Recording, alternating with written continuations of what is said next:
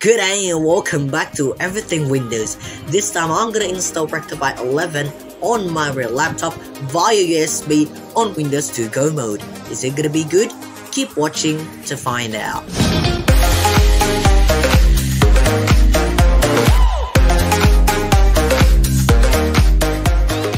Flowing up from the Unwinver video about Rectify 11, I decided to take tests to run this mod on my real laptop without any hypervisor slash virtualization software. And to take this, I don't want to overwrite my Windows 10 copy, nor that I have any SD replacement to try it out. But luckily, I do have a USB, which is a SanDisk Cruzer Blade USB 2.0 32GB, which I bought about a year ago. But before I installed it, I want to show my laptop specification to make a transparency about this experiment.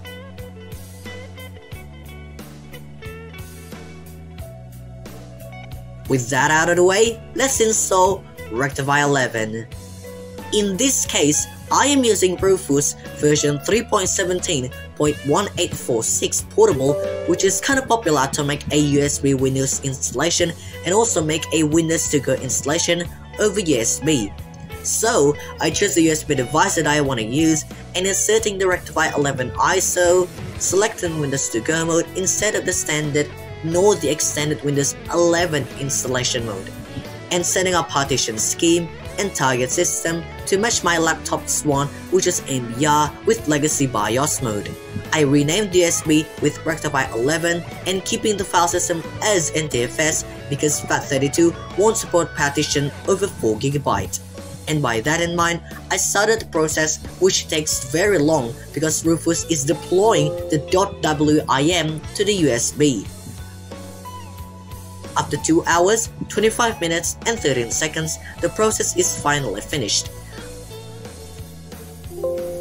I restarted the Windows 11 for the last time in true Soul Windows installation and getting F12 smashed as much as possible to get into BIOS device choosing thingy. After selecting the USB SanDisk, my laptop eventually booted into Windows 11 with the logo slapped to my screen, even though it displays checking partition slash disk or chkdsk in a fancy way because I forgot to plug out my external hard disk which is conflicting with the 11 installation. I finally get into desktop with pure rectify 11 image and then I'm trying to set up the brightness which I can't because I haven't installed any driver in. So I quickly navigate Rectify 11 to show you this is a legit experiment and there you go, Rectify 11 in my real desktop. After I installed some software and drivers, I tested the installation using Crystal Disk Mark. As you can see, the Rectify 11 suffers to get read and write speed over 25 megabytes per second, which is normal for USB 2.0 speed comparing to my real laptop Samsung SSD, which blasted off at over 500 megabytes per second. And then I quickly go to Task Manager to see percentage of CPU and memory usage. As you can see, Rectify 11 wins about 5% and 20% CPU and memory usage respectively, comparing to my laptop which is about 7% and 40% CPU and also memory usage. Do note that I have killed many processes in the background which unnecessary for pure Windows 11 experience and this will maybe change whenever I decided to use Rectify 11 for about a week or month. So let's go to the future me who already in the Rectify 11 desktop showing you how smooth the experience is. Okay, so here we are in Rectify 11 running in Windows to Go mode with a USB or a SanDisk Cruzer Blade 32GB flash drive.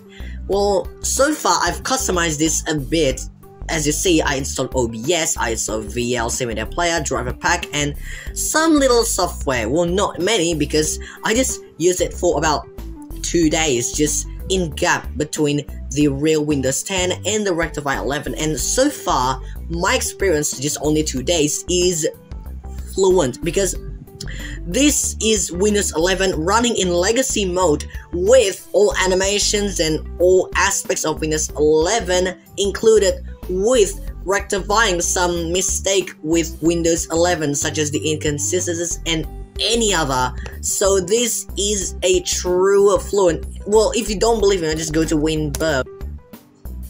There it is, Windows 11 version 2821H2 build 22000.318 that's there that's the real windows 11 copy of rectify 11 of course so as you can see this is rectify 11 well in this test drive kind of thing, i want to show you two things that i cannot run in a virtual machine. Of course the first one is being paint. So this is the one that running on a virtual machine that I can't do that. Instead, what I'm seeing here is the main laptop with all the power such as the Intel HD Graphics 620 and so many others advantages.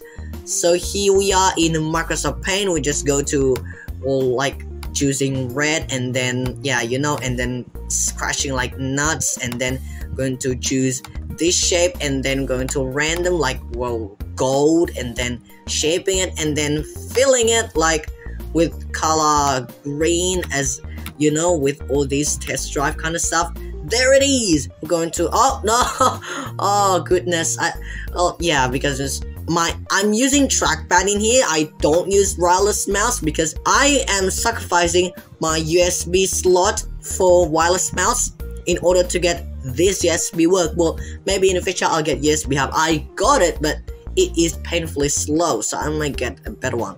So yeah right here even though paint is kind of bit of a like the early version the preview version because this is still only available in light version. Or maybe because it's version 22,000.318 not lighter version. Which version 3 is gonna be based on nickel? So and the other is notepad. Right here oh no I, it opened in the second monitor.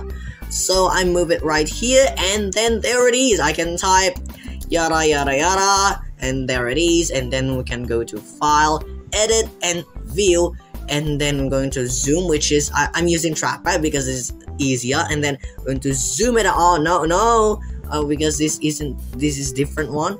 Okay control plus control plus. Yeah it is able to do that. Control minus. Oh goodness. I hope this will run in my main machine.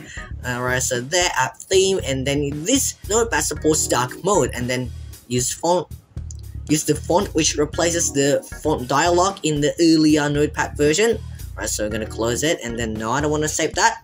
So maybe we're going to Chromium and right here I have the Explorer which is right there, then see the Maker, which is available on Windows 11 or maybe Windows 10 with just a bit limitations. That's there, Windows 11 running. oh, I'm still praising this kind of stuff.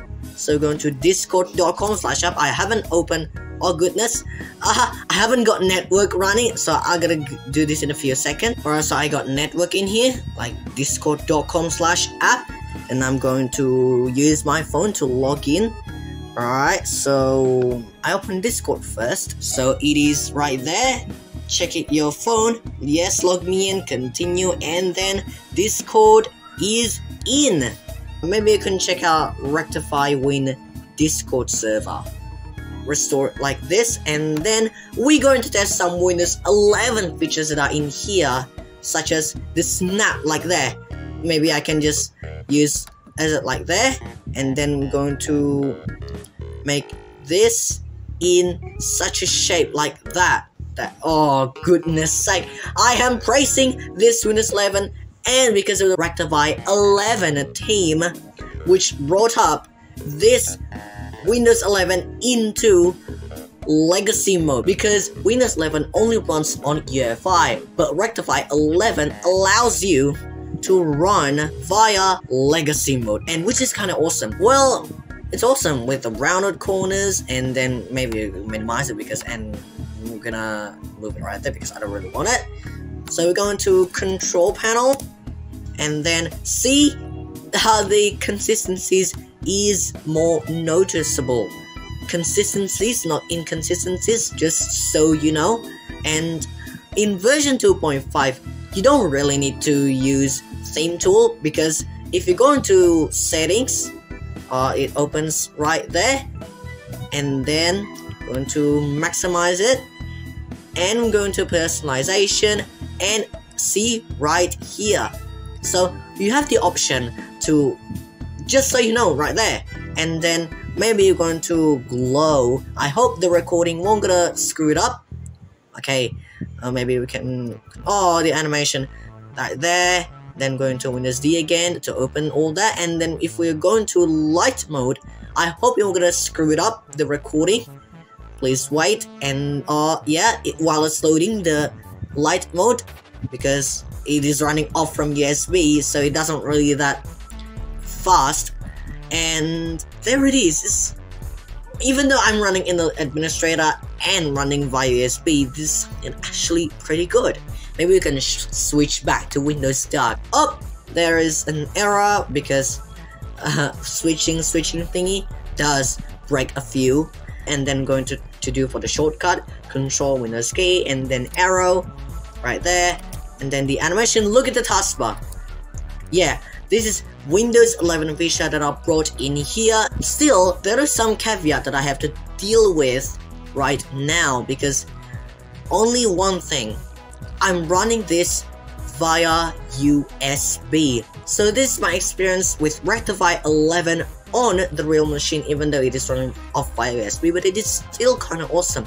And if you want to challenge me right now to use Rectify 11 for full week or full month, make this video reach 1000 views if you wanna see me using Rectify 11 in one week. And if you want me to use Rectify 11 for a full month this video has to reach 10,000 views.